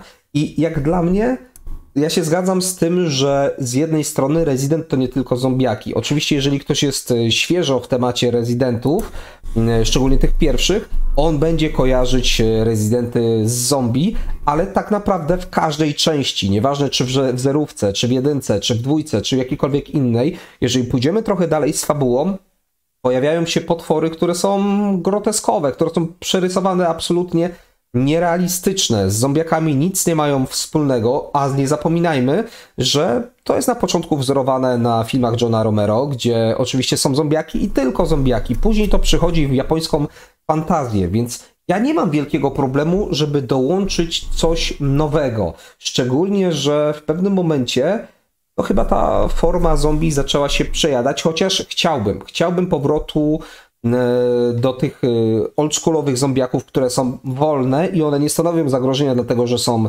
e, szybkie, że są nie wiadomo jak zdeformowane i tak dalej, ale podobnie jak Romero to robił w filmach, one są groźne w grupie w momencie, kiedy ty już jesteś ranny, wykończony, głodny, niewyspany, okaleczony i tak dalej i w pewnym momencie to jest stopniowe dobijanie głównego bohatera, tego bym sobie życzył. No ale może kiedyś będzie, może nie. Natomiast skoro oni sięgnęli po inne baśnie, faktycznie mam troszkę problem z zaakceptowaniem tych wilkołaków. O dziwo nie mam problemu z zaakceptowaniem e, wampirów, tak? Czyli wracam mm -hmm. do Lady Dimitrescu. To jakoś kupiłem. Więc generalnie ósemka, biorąc pod uwagę swój bestiariusz, czy też swoją mitologię, do której sięga, jest dla mnie całkiem ok, chociaż kontrastowa. Mimo wszystko siódemka mi bardziej siedzi. Nie wiem, czy też tak masz, ale siódemkę kupiłem bardziej, mimo że tam mamy rzeczy nadprzyrodzone. Tam mamy rodzinę, które, która się cały czas e, regeneruje, tak? Odcinamy łeb, nie ma problemu, co nie wróci za chwilę. I możemy powiedzieć, ok, to jest wyjaśnione, bo mamy oczywiście bakterie, jest umbrella i tak dalej i wszystko tak samo. Pytanie, mm, do jakiej skrajności się posuniemy, bo bardzo podobnie było w Metal Gear Solid i bardzo memicznymi nanomaszynami. Mhm. Znaczy ja ogólnie uważam, że ósemka jest moim drugim ulubionym rezydentem. E, I uważam, że wyszedł. E, znaczy, bardziej mi się podobało niż siódemka. Mhm. Właśnie to podejście i stworzenie świata zupełnie opartego na baśniach było takim oddechem, który seria potrzebowała od dawna, wydaje mi się. Pierwszym takim oddechem był Resident Evil 4, gdzie zrezygnowano właśnie z zombie na rzecz, na rzecz tej laplagi, zupełnie zmieniono setting i tutaj wydaje mi się, że właśnie zrobiono podobnie. Zmieniono setting, e, umieszczono jakieś baśniowe wytwory i nagle właśnie ten Resident jakby troszkę jakby chciało mi się w to grać. Chciało mi się w to grać, bo mnie to ciekawiło. Było tutaj dużo rzeczy, których nie byłem do końca pewny, bo tak jak grasz w te klasyczne rezydenty, no to wiesz, będzie zombie, jakiś tak typ jest. wstrzyknie sobie, zmieni się w mutanta. Tutaj mieliśmy taką, taką jakby troszkę nieprzewidzianą e, historię, która nie wiadomo dokąd prowadzi. Nie wiadomo jak to się skończy, e, kim tak naprawdę jest ten Ethan Winters, dlaczego on się też regeneruje. E, zostało to oczywiście też wyjaśnione. Mieliśmy tego Chrisa, który pełnił tutaj rolę pewnego rodzaju na początku wydawało się, że bad guy, a potem trochę można powiedzieć takiego mentora naszego głównego bohatera. No tak. Mieliśmy też okazję przecież na końcu zagrać samym Chrisem Redfieldem. Także e, wydaje mi się, że Capcom dobrze, dobrze tutaj e, tą marką zarządził, żeby zrobić e, takie naprawdę fajne to domknięcie tej historii. No i oczywiście też pojawiła się wersja gry na PlayStation VR 2 tym razem. Miałeś okazję Dokładnie. zagrać na VR 2? Jeszcze nie, nie miałeś. Jeszcze nie, bo VR 2 będę sobie kupować. Nie wiem, czy nie zrobię sobie prezentu teraz na Wielkanoc. Mhm. Chyba na Wielkanoc sobie kupię, ale, ale chcę. No to powiem Ci, że Village jest absolutnie według mnie must have dla posiadaczy PSVR, bo w mojej opinii jest to jedna z najlepszych gier aktualnie, nawet lepsza niż e, Horizon. E, I ca- ja powiem Ci, że odpaliłem, bo chcia- robiłem materiał, mówię odpalę na chwilę, zobaczę jak to się gra, całe przeszedłem. Całe przeszedłem od początku do końca, mnie wciągnęło niesamowicie, nie? To, to jak to Capcom e, przygotował, to masz wrażenie, że to jest gra jakby zrobiona od razu pod VR-a, nie? Że ona w ogóle, ona miała być oryginalnie na VR-ze, po prostu. Jest niesamowicie, a tak naprawdę, niesamowicie. A tak naprawdę ten tryb bez VR-u to jest dodatek, to jest opcja tak, alternatywna. Taki, tak, tak właśnie miałem takie właśnie wraże, wrażenie. Dobra. To się często słyszy. No, tak, to jest, to jest według mnie bardzo, bardzo dobrze przygotowany tytuł pod VR. Naprawdę świetnie się w to gra. Zanim zamkniemy sobie ten dość długi, dwuczęściowy podcast, pomyślmy, co będzie w Resident Evil 9, jeżeli powstanie, bo na pewno Capcom już tam pracuje. Wiemy, że historia Itana Wintersa dobiegła końca, więc raczej nie będą kontynuować tej historii Itana Wintersa. Mamy mnóstwo postaci, które nadal czekają na odświeżenie. Mamy postacie, które no, gdzieś tam się w tej serii przewijają. Jak myślisz, w którą stronę Capcom pójdzie przy części dziewiątej? Czy nadal to będzie FPS, czy, czy co? Powiem tak, y, ja widzę dwa, y, dwa tory, które oczywiście nie mówię, że na pewno któryś z tych dwóch pójdą, ale dwa, które bym y, widział jako prawdopodobne. Jeden, którego bym nie chciał i to mi się przy okazji szóstki gdzieś tam w głowie taki, taki pomysł narodził, czyli tak, nie wiem, ja bym to nazwał RCU, czyli Resident Evil Combined Universe. I być może, chcie, być może będą chcieli pójść w tą stronę, żeby stworzyć E, znowu, chcemy wykorzystać wszystko, co mamy, chcemy zrobić taki mashup, chcemy pokazać stare postaci, zagrać troszkę na nostalgii, ale zrobić to w ramach jakiegoś takiego dziwnego, przerysowanego znowu filma Michaela Beya, ale nie wydaje mi się, żeby w tą stronę poszli, bo Resident Evil 7 i 8 e, pokazały, że ludzie chcą staroszkolnych horrorów, że chcą survival horrorów i wydaje mi się, że oni będą tą, nawet czy trylogię, no zobaczymy, co zrobią w dziewiątce, bo kto wie, oni mogą wciąż chcieć nawiązać do tego. E, tak czy inaczej, wydaje mi się, że oni w dziewiątce pójdą w tą stronę, tylko że siódemka i ósemka pokazują podobny, tak mi się przynajmniej wydaje, nie wiem jakie ty masz odczucie, ale pokazują podobny progres, jak mieliśmy 1, 2, 3, 4, 5, 6, mhm. że ósemka też idzie znowu trochę bardziej w stronę akcji więc wydaje mi się, że będą chcieli tak naprawdę zrobić e, taką drugą czwórkę, że mhm. to będzie chyba coś takiego. W to bym mhm. uderzył. Zastanawiam się tylko, które realia będą chcieli w tym momencie wcisnąć. Yy, może wykombinują kombinację z siódemki ósemki, może coś nowego, ale gdybym miał zastanowić się, co ja bym chciał, to prawdę mówiąc nie wiem, co bym chciał. Nie wiem, co chciałbym i jakie, jakie potwory, jaki bestiariusz mieliby wrzucić, ale chciałbym zobaczyć na pewno coś ze starych postaci. Być może Jill, e, być może. Mm, tak się zastanawiam, Leona było ostatnio dużo, więc wątpię, bo były remake'i. E, może Rebekę? Mhm. Chciał zobaczyć, może nią. Ja tak e, patrząc na ostatnie ruchy Capcomu, czyli wydawanie tych portów ostatnio na Switcha, wszystkich rezydentów, ja m, oczywiście tutaj sobie gdybamy, to jest w ogóle, to jest science fiction. Ja obstawiałbym, że kolejna część Residenta główną bohaterem będzie Chris, mm, Redfield i fajnym pomysłem by było to, mam nadzieję, że Capcom słucha, gdyby gra opierała, dziewiątka opierała się na odwiedzeniu miejsc wszystkich wcześniejszych rezydentów. E, w celu na przykład zebrania, nie wiem, dowodów na umbrelę albo czegoś. I tak na przykład odwiedzamy zniszczoną rezydencję w rezydencie jedynce, tak? Czy na przykład ten wykolejony pociąg, zniszczone Raccoon City, e, hiszpańskie wiochy z rezydenta czwórki. To wszystko jakby skomasowane w jedną część, w której na przykład Chris, czy też inny bohater, ale ja bym obstawiał Chrisa, już weteran serii, odwiedza różne miejsca i zbiera różne elementy, które tworzą jakby całość, tak? Może, może już końcowe zniszczenie Umbrelli, bo chyba koniec końców tej Umbrelli jeszcze chyba nie zniszczyli, nie wiem, czy to tam się w ogóle Ona wciąż zdarzyło. gdzieś żyje. Gdzieś, Słuchaj, tam, ona... gdzieś tam tak. To, to ale to było... z filmami z multiversem. E, zawsze pojawi się inny, inne miejsce, gdzie jest laboratorium, tak. zawsze będzie gdzieś zakopane w jakiejś kopalni, on gdzieś jest. Ale to wydaje mi się z jednej strony było fajne dla fanów, nawet tych hardkorowych, bo by przypomnieli te pierwsze części, te klasyczne lokacje.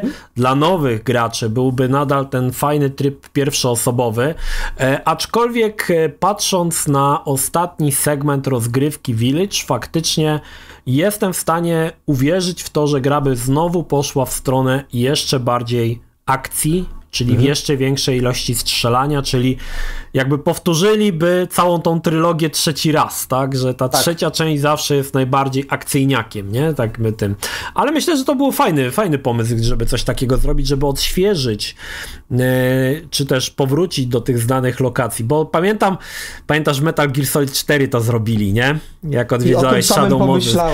To był najlepszy moment mówić. całej gry, nie? Kurde. To najlepsze, oni prawie całe Shadow Moses odwzorowali. Tak. To było w ogóle dla mnie niesamowite, Było że większość niesamowite, lokacji no. z jedynki tam się znalazło, to było super. A do tego, co ty powiedziałeś, powiem ci, to jest ciekawa rzecz i szczerze kupuję taki pomysł, ba dorzuciłbym nawet do tego, żeby po- to można by powiedzieć, że to by było troszeczkę nawiązanie do szóstki, ale w zależności od tego, które e, etapy, czy też które części gry od, odwiedzasz, e, tak ta gra jest mniej więcej prowadzona, tak? Czyli jeżeli idziesz w te, powiedzmy, posterunek, Aha. idziesz w stronę rezydencji, to gra jest bardziej prowadzona w ramach e, survival horroru. Jeżeli będziesz odwiedzać na przykład wiochę z czwórki, no to wtedy mamy bardziej nawiązanie do akcji. I tak naprawdę wtedy Capcom miałby wszystko w jednym tym, e, w jednej bombonierce. Każdy No. cukierek by się znalazł. Dobre- Tylko dobre by to pytanie, pytanie, py, pytanie jakby to nawiązali, ale ja tutaj mogę się y, ewentualnie odnieść do Dark Soulsa 3, gdzie lokacje były tak poprowadzone, że mamy tak naprawdę lokacje z Dark Soulsa 1, z Dark Soulsa 2, z Bloodborne'a, y, z Demon Soulsów, y, no Sekiro tam brakuje, Y, ale, ale generalnie tak to FromSoft poprowadził, że mamy odwzorowanie lokacji z poprzednich części. Możemy to nazwać fanserwisem, ale ja powiem jedno, jest dobry fanserwis i jest zły fanserwis. Yy, Niespecjalnie lubię, jeżeli ktoś mówi, a bo to jest fanserwis, to nie lubię. Są dobre fanserwisy i nawet wspomniany Metal Gear Solid, którym tutaj powiedziałeś, zrobił to w przypadku Shadow Moses, zrobił to świetnie. I takie fanserwisy ja kupuję, ja biorę. Tekken chyba zrobił, nie? Też tak, że tam były te wszystkie intra z tych wszystkich gier wcześniejszych do obejrzenia i filmiki. Jest, jest. No, to też Ba, było w Tekkenie- super. W Tekkenie 5 yy, w Dark Resurrection, czy w, piąt, w 5.0 w Vanilli też. W każdym, w każdym razie w piątce można było odpalić, albo się teraz mylę, bo w szóstce, chyba w piątce. Trójka można było nie? odpalić yy, Tekkena 1 i 2. Tak, tak, tak. I chyba się 3 myślę, też. Nie, Jeden trójki nie, chyba jedynka i dwójka. Jeden, dwa. Ja wiem, że, Jeden, ja dwa. wiem, że w siódemkę, siódemkę Tekena kupiłem tylko po to, żeby te cutscenki sobie pooglądać, co wszystkie odblokować i wszystkie No to- intra. To było dla mnie niesamowite. Dobra, słuchaj, jeszcze Pytanie, coś po też co dodać? kupisz Tekkena odnośnie- 8? Co? Chciałem tylko spytać w takim razie pytanie, po co kupisz Tekkena 8? No właśnie, nie wiem czy kupię, bo ja to nie jestem Tekkenowy, jestem raczej Mortal Kombat niż Tekken, ale e, mamy w planach pogadanie też o bijatykach, także, także wszystko Będzie. przed nami. Musimy dopisać sobie też do naszej listy e, poprawność polityczną. Myślę, że to będzie ciekawy temat, choć kontrowersyjny, Tak. ale myślę, że może Mhm. tu być ciekawa dyskusja. Jeszcze coś też dodać e, w kwestii rezydenta. Coś. Wiesz co? Yy, myślę, że gdybyśmy chcieli coś pododawać, to nam się trzeci odcinek zaraz z tego No zrobi. właśnie, no E, właśnie. Bo ja o samej, o samej czwórce, którą przecież dopiero co skończymy ogrywać, mam jeszcze masę rzeczy, które mógłbym dodać, ale myślę, że nie będziemy zamęczać, e, chyba że będziecie chcieli, no to w pewnym momencie stwierdzimy, ok, bierzemy na y, tablicę jeszcze pozostałe części, których nie ograliśmy, ale zrobimy research. Można więcej powiedzieć o rzeczach, które nie zostały powiedziane, można więcej powiedzieć o samej czwórce, która jest świeżutka. Zobaczymy. Natomiast dodawania? Nie, ja myślę, że powiedzieliśmy naprawdę Dobra. sporo i, i ja, ja jestem pełny na razie, ja się najadłem. Okej. Oglądaliście drugą część e, podcastu Gralogii na temat Resident Evil całej marki. Moim gościem, jak i rozmówcą był Bartek Bart Jakubczyk. Na podcast prowadził jak zawsze Krzysztof Energik Micielski. Dziękujemy serdecznie i zapraszamy na kolejny podcast. Do następnego. Cześć. Jeśli film Ci się podobał, zachęcam do subskrypcji lub wsparcia mojego kanału na portalu patronite.pl. Film o podobnej tematyce znajdziesz tutaj, natomiast z drugiej strony znajdziesz film wygenerowany przez platformę YouTube'a. Zachęcam również do odwiedzenia moich social mediów, grupy Energikowcy na Facebooku oraz serwera Discord. Linki w opisie.